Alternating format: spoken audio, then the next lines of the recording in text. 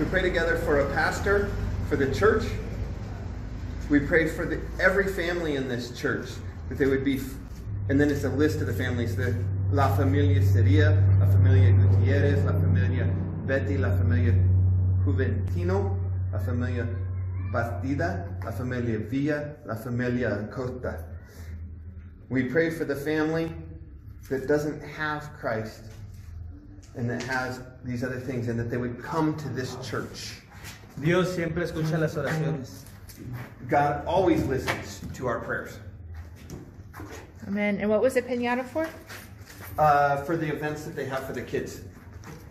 Kids, es la piñata para los niños. Vamos a tener un evento y les vamos a regalar dulces. Vamos, vamos a tener un baquete Yeah. para, para la gente de esta comunidad.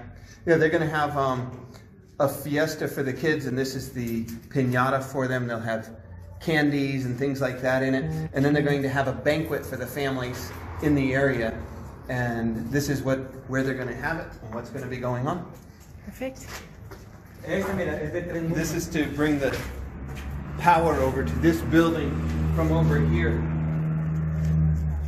Um, the bathrooms. And then you see they're working. They're also going to be trying. You're trying to put a second, un otro piso por allá Ya, ya. para para cuartos para clases del domingo y cosas como así. Sí, pero primero queremos la bomba. Por aquí va a ir el, el- el centro de carga. So they're going to put classrooms up there. That's what this is. Why there's the second part of the building up there. That I don't know if you can see. Um, eventually, they want to put classrooms up there, but before they can do that, this ditch is because they need to bring power into the church, and they're having to do that right now. Aquí va la mufa.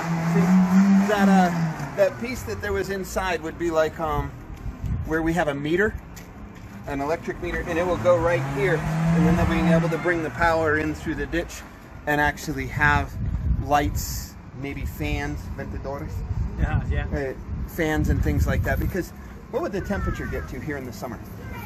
Ah, La, la temperatura en la, durante verano. a 35, 40 grados.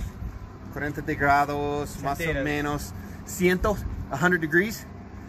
It will get to in the summer, and right now there's no air conditioning and not even any fans. So the electric, Ya, ah, en tiempo de frío es menos 4, menos 5 grados. it can get well below freezing here, maybe down to about 20 degrees, and they don't have heat in the church either. So you have 20 degrees to over 100 degrees, and there's no heat and there's no fans. So, in addition to lights, the power will allow them to have any of this. O sea, el proyecto más que tenemos, hermano, es ya querer hacer la casa pastoral aquí. And they're, la casa they're going to put a, oh, what do we call that? It's a house for the pastors. Um, we, we have a word in English for it, and I'm drawing a blank on it at the moment. But the other thing that they're planning to build, they need to build a, a house for the pastors so that when they do get a pastor, the pastor that they're praying for, they have a place for him to live. Right now it's Chico, but Chico graduates in two years.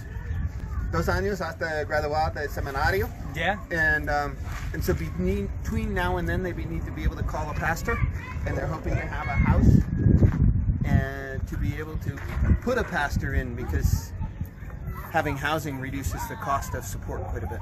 Mm. De hecho, pues el, el templo llega hasta aquí. O sea, la, la nave va a venir hasta aquí. See? Hasta aquí. De aquí va a ser para atrás. So what they're hoping to do eventually, and what he's saying with here, is eventually they hope to expand the church building. They use the word templo, which is temple, here to right about here. So that they actually have a lot more facility. Right now they only have seating for 20, 30 people. There's ¿Cuántas personas viven aquí en la mesa? La mesa hay aproximadamente de 15 a 20 mil personas. There's between 15 and 20,000 people here. Right now, the church has 20, 25 people, so they're hoping to expand the building so that they can also expand the congregation and be able to work more and more in the community with the facilities that people can come to. Y los baños y, y los departamentos educacionales van a ser en la parte de ahí.